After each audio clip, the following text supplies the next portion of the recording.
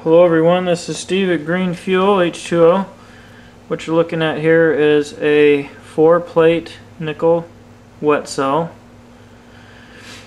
And I've run across uh, something that I want to show you. What I have here is I'm running at 2.48 volts across the whole stack and I'm drawing 1.6 amps. So that uh, equates to 0.82 volts per gap. And you can see the production there in the picture or on camera. You can tell it's uh, it's producing uh, quite a lot.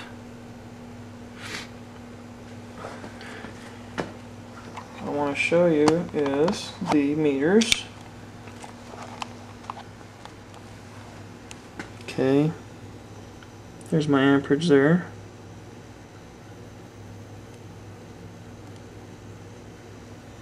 And right here is my voltage across the stack. Here's the top. A lot of foaming going on.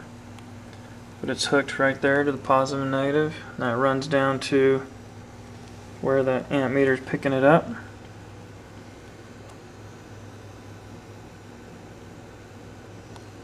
Pretty cool.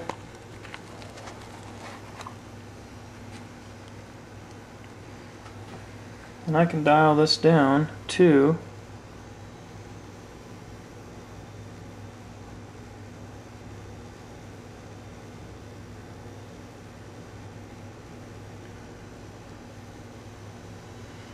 right there 2.3 volts still drawn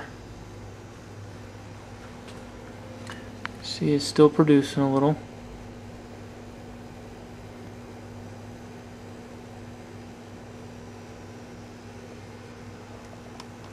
So I can take it down to 0.71 volts per gap and still get an amp draw.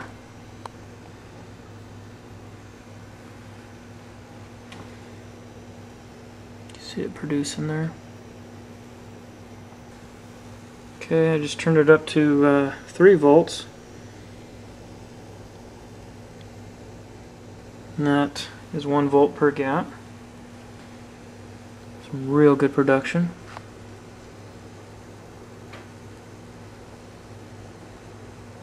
And again, uh, these are nickel plates I'm using.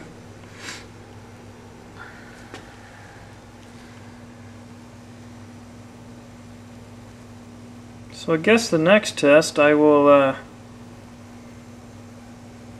I'm going to close this off close it into a dry cell. And I'm going to run an MMW on this.